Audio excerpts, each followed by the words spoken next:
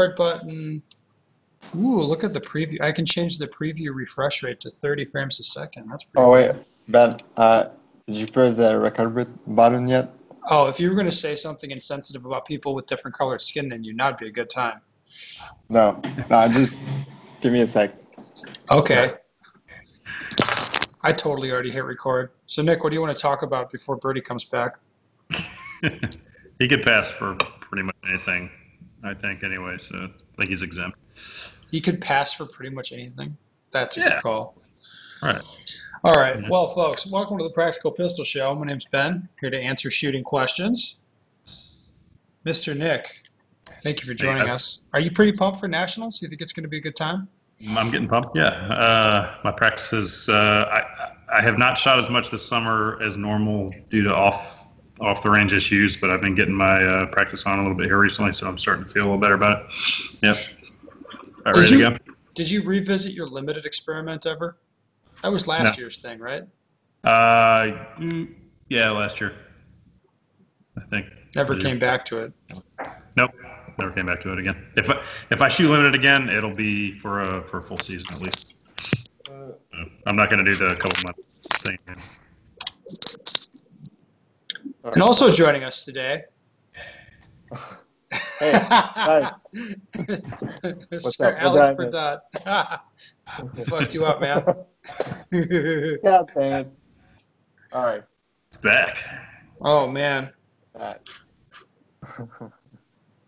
Okay, Uh, let's get to the questions because that's what that's what everybody likes. The first the first question pertains to IPSC matches. I think the World Shoot specifically, but uh, that's fine. It, it works for any big IPSC match. Does the mixture of short, medium, and long courses affect your approach to the match? What do you think, Alex? Does that affect you? Well, I mean, this is that's how you live your life normally. yeah. So I, I guess the uh, way to ask you is, if you go to a USPSA match, does it all being long courses affect your approach to the match? It doesn't. Well, I mean, it's different for sure in terms of strategy. Uh, long, long courses, you just, I don't know. Well, I just shoot USPSA matches sometimes, and it's fun to shoot long courses. But I mean, it's really more the short courses where in a IPSC match where you actually have to. Uh, sometimes you have to survive a stage instead of just like really pushing and try hero zero. You just shoot shoot a short course and not try to go for the stage win, but you put all your effort for the long course and medium courses. That's usually how I do it. So Yeah. half the stages in the match being short courses, about half the stages you just try to survive. Well, it depends. If a short course is pretty simple, I'll just like I'll go all in. But like if it's like two activators and uh, no shoots, that's usually when I try to just survive it. All But right. hey, um, yeah. No, I, that makes sense. What do you think, It's- Nick? So you know, my experience with the the IPSC format is limited to a couple of or two or three US, you know, IPSC nationals in the U.S. But I, I'm kind of surprised. I was actually going to go kind of the opposite direction from Alex. So, you know, my impression based on those couple matches is that the the the the weight of the points in an IPSC style match is much more on the shooting portion. And you know, you really kind of got to make your money on the short and the medium courses. And to me, the long courses were more you know, you got a lot more running. The shooting itself is a little bit easier. So, you know, people are more stacked up on the long courses, and you kind of had to to make a living on the short and medium courses. That's where you kind of kind of won or lost a match, in my opinion, when I was there. So, to me, it it's it puts more weight on the actual shooting it itself. Like any shooting deficiency on a short course, you just get hammered in the results. So I'm hearing you saying that IPSC is gay. Uh, yes. No. No, it's cool. it's a different experience. Uh, I I do not care for the for the lack of walkthrough. I I have not warmed up to that. You know, I, I know it's probably normal for people who shoot internationally all the time, but I, I don't like that aspect of it. But the variability in the in the course size and the shooting challenges, I think, is is can certainly be a very positive aspect. Whereas you know in the U.S. a lot of matches you have, you know, 80% you know 32 round long courses where you just run around squirting bullets and yeah. So from that aspect, I thought the IPSC matches were were nice for sure. Okay, so when I look at this question, does the mixture of the sta- the stages affect your approach to the match? For me personally, not really, but it's because I'm used to. I have I I would say I have a different mentality than most guys I know in USPSA. So most guys, they're like, well, this stage is only 40 points, so it doesn't matter. Or say, this is a short course, this is irrelevant. And I kind of look at that. I've always been like, why the fuck? Like, if I'm going to look at my match summary at the end of the match, I'm like, a miss on this stage is going to bother me just as much on a miss as any of the other ones. So, it did, like, I've never thought of it as, you know, different as far as like how many rounds are on the stage is not relevant to me. I don't really care. I want to shoot every round good. Does that make sense? Yeah, So I don't I don't look at a short stage ever in, in any kind of match. Be like, oh, this is a short one, so it doesn't matter. Actually, uh, just thinking about it, uh, usually the short course, you want to like make sure you get like a good solid draw fast and like a solid reload if there's one. But actually in IPSC, there won't be one. Not unless you're in Canada rounds. or Australia. Yes, exactly. We're just always reloading. but yeah, so you're on a short course. You really want. That's where you're gonna get like that second faster uh, by getting like a solid fast reload, uh, solid fast draw, and good transitions. Except like compared to a long course where you probably have plenty of time to draw and run to your first position. well, you think that, right? But do you really? No, of course you're always drawing fast Yeah. All the time. Yeah, for and- running first position. But the draw is a smaller a smaller percentage of your overall time on a long course, regardless. Yeah. right? But on a short You course, screw it up. That little elemental piece of screwing it up doesn't hurt you as bad as it does on a short course. yeah, Yeah, not it doesn't hurt you in, as bad in terms of percentage on the stage, but it hurts you the same in terms of match points. Just because you have more points on the Yeah, stage. pro, yeah, provided that the hit factors on the stage are the same. Yeah. So I'll add one caveat to my, my earlier point. So there's so many short courses in IPSC that, you know, if you're screwing up one of them, you're, you're probably going to screw them up multiple at once. So, like, you know, whatever, if you have some kind of deficiency, it's probably going to be borne out in multiple stages. It's probably going to hurt you across all those stages and not just one for the most part. Yeah. So I, I mean, for me personally, no, it doesn't really affect my approach to the match. I can see like I can see why people want it to affect their approach to the match, but that's mostly if we're talking to a USPSA audience, it'd be because they the typically the, the, the couple short stages in a match, they're like, oh, these ones don't matter. And then if you're talking to I guess IPSC guys, you'd be they'd be thinking that the, the long courses, like, well, the running soaks up all the shooting or something, so it's not as important there. Like, I, I mathematically, it doesn't matter. Like, it's it's weighted on points and time, and that's it. It doesn't really matter much. Like how when you think about that it, works out. Yes, like when you think about it, World Shoot, they had like five long courses yes. and like how many short courses? Like 15? No, it's six long courses, I think. No, Six? five. I'm sorry, Uh, five. it was You're right. five Five. areas, It was five, 15, and ten. Yeah. So, I mean, the short courses don't matter. It's 15 of them. If you stack them up, it, ma- it starts mattering. Well, that and it's like if you're running in a tight race with people, like let's say you're within five or ten points of guys you're competing against, you're going into a stage with 40 points available on it versus going into a stage with 150 points available on it. Does that really matter to you? How many points are available? No. Well, I mean, You want to get as many as you can to try and make points on the other guy. Yeah. It doesn't make any damn. It doesn't make any difference. I, I wouldn't think, and I'm I'm happy to report that it doesn't really affect my approach to the match. Maybe as far as training. So let's say before the match, then it's different. So for USPSA, you're working on sort of how much horsepower you have on big stages with lots of shooting and running, because that's going to matter a lot. Yeah. The So- hosing. Yes, maybe some hosing. Yes, or for for the no shoot nationals coming up, at least that's what it looks like on paper. You just set up a bunch of partial targets and like shoot them a bunch, reload, shoot them a bunch some more, work on moving around a little bit. That'll be pretty good practice. But if you're going into an IPSC match, you'd want a lot of diverse sort of training. Being Yeah, honest. Agree. Okay. Let's move on to the next question. I recently, I think I was at this match actually. I recently shot a level two match and shit the bed on two stages. One stage had 45 yard poppers, and the second stage had weak hand only partials. Two skills I rarely practice. So here's this question Am I a retard for being so bad at these two skills, and should I train them up? Or do you and the pundits say, fuck that noise, ain't nobody got time for that? Nick, you look confused. I'm trying to decide exactly what what skills he's trying to define here. All right, so No, so he's defining it as ex- if I'm reading the tea leaves here, I think it's exactly as he wrote it. So 45 yard poppers all right, so pulling the And- trigger. and weak hand only partials. Now you think of that as pulling the trigger, and he thinks of that as 45 yard partials or poppers.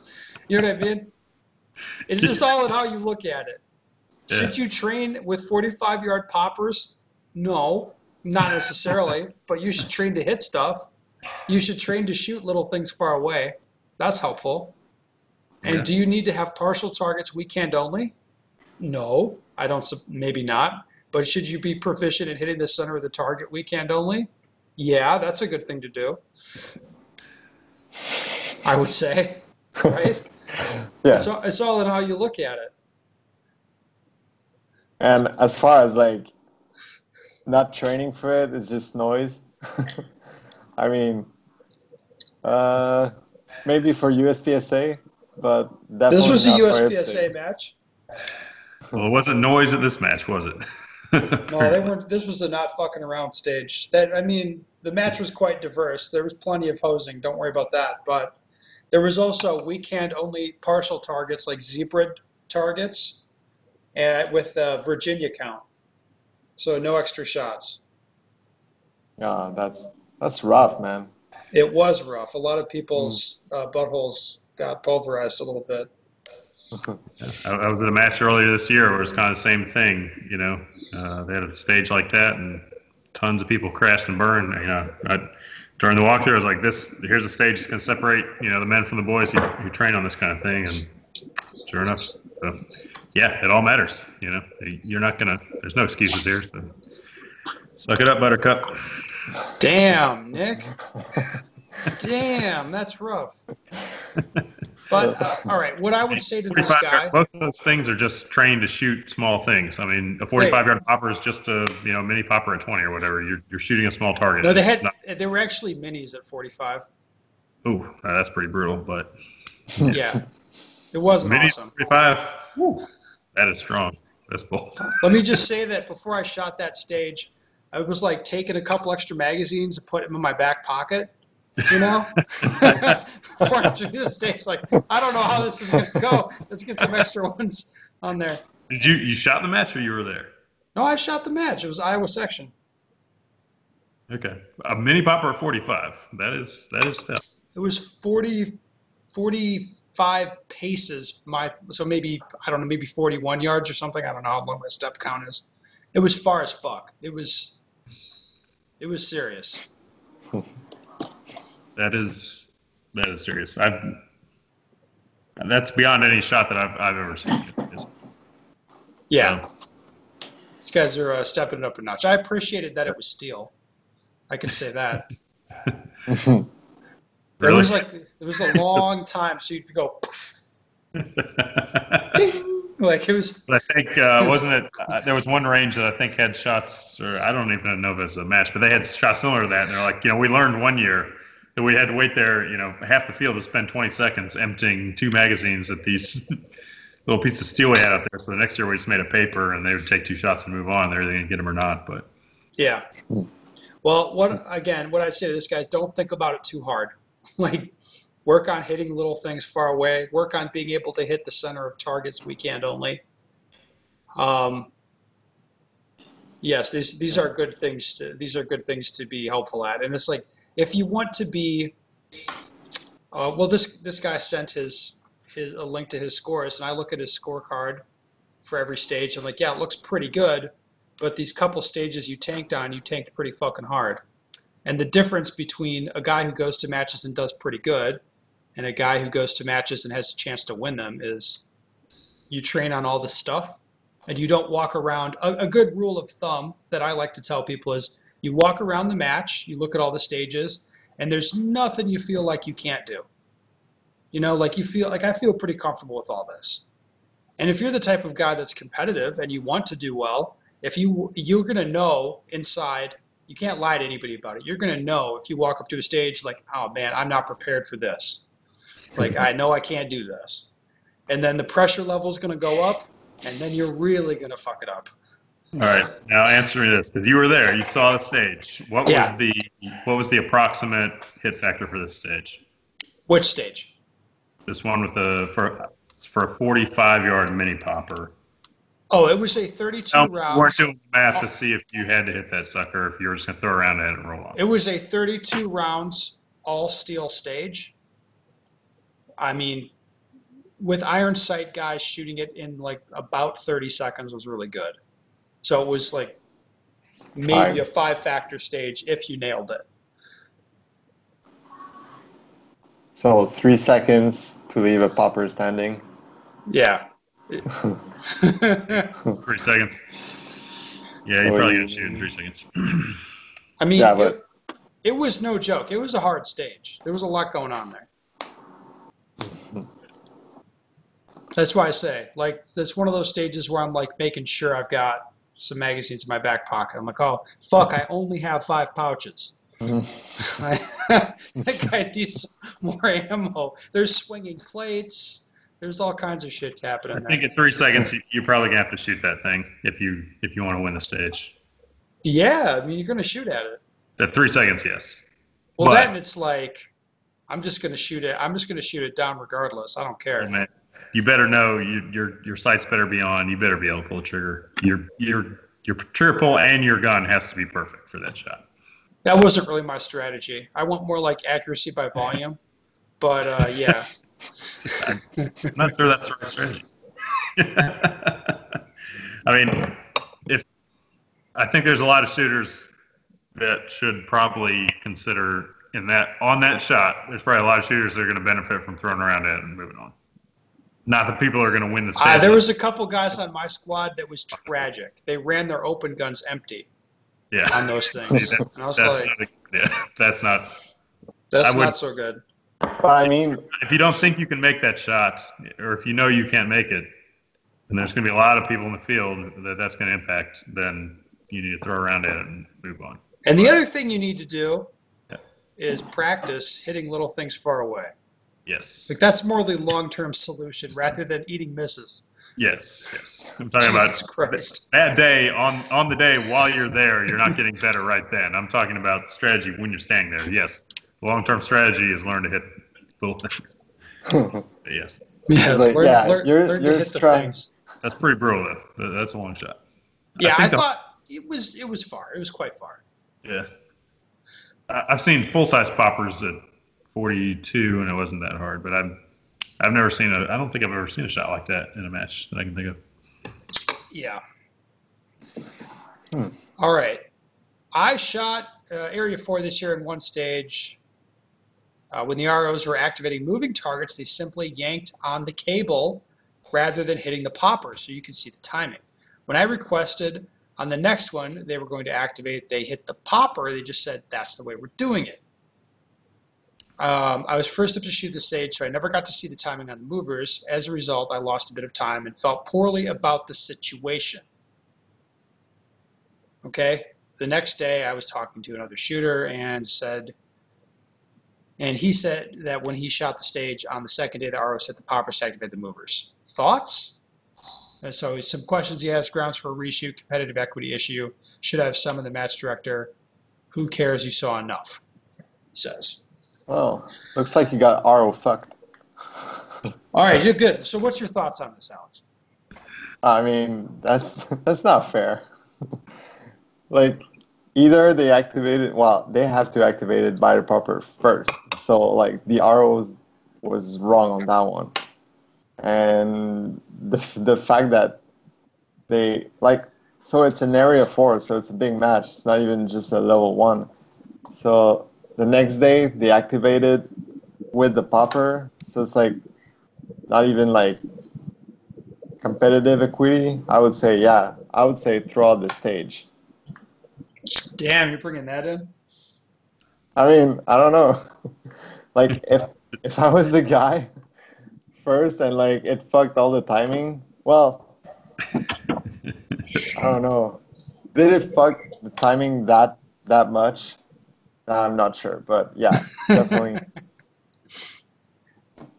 Anyways, Mr. it was just the whole situation was bad. I think. No, it's not. It's not good that they're doing it differently on different days. Not good. Nick, what do you think?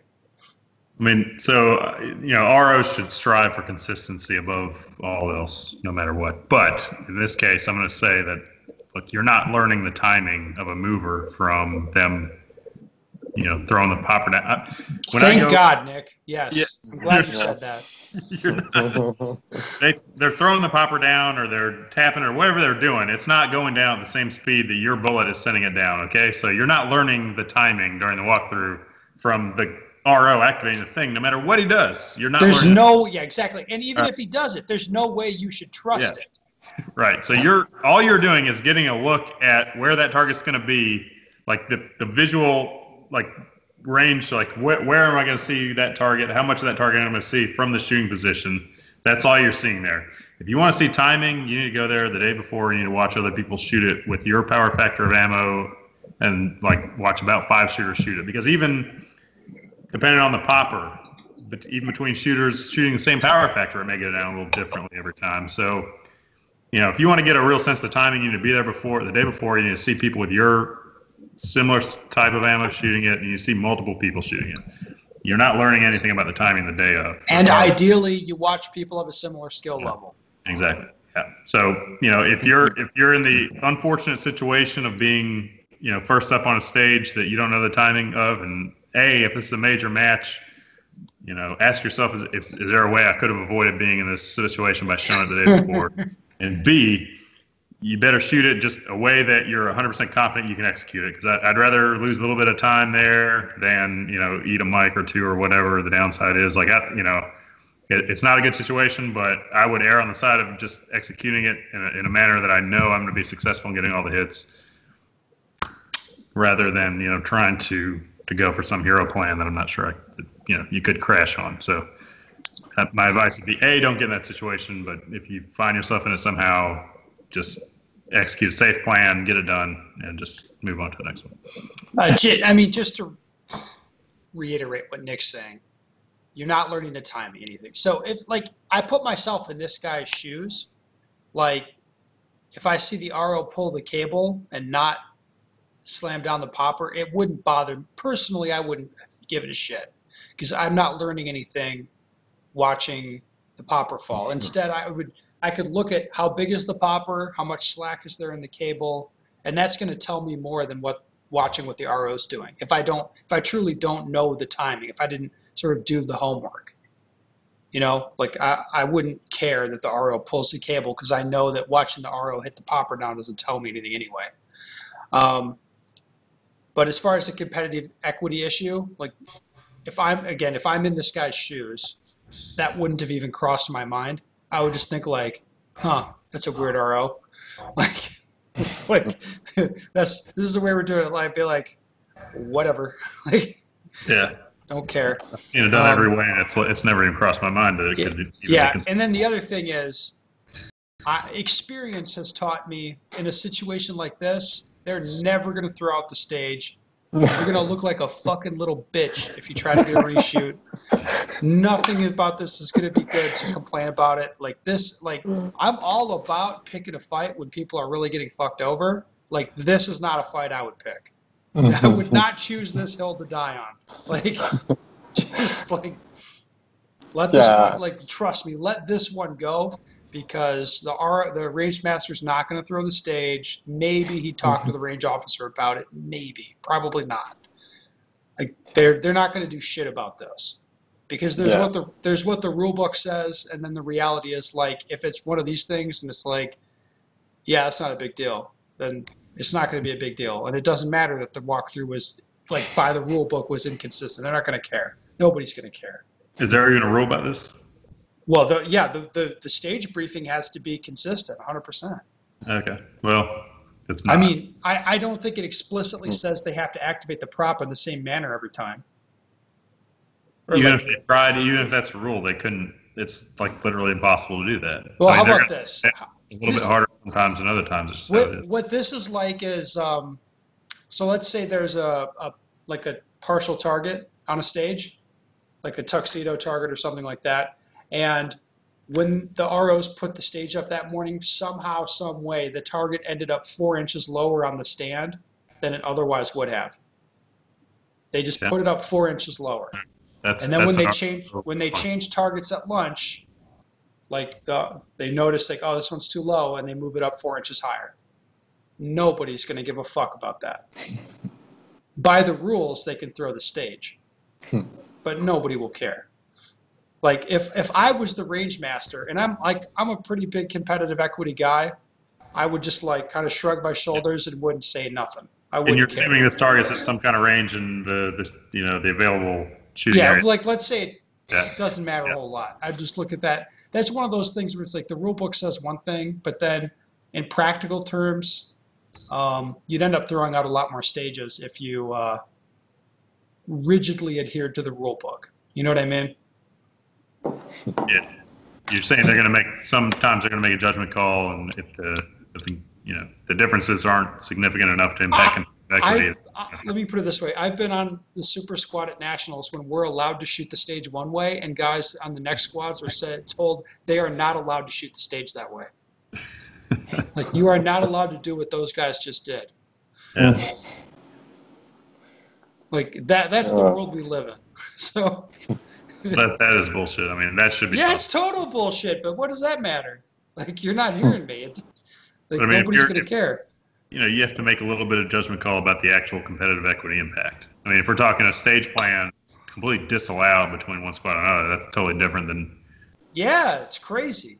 moving a target one inch that doesn't impact anything else about the stage. Yes, and in this situation, so competitive equity wise, watching the RO slam the popper down onto the ground, that's not telling you anything anyway.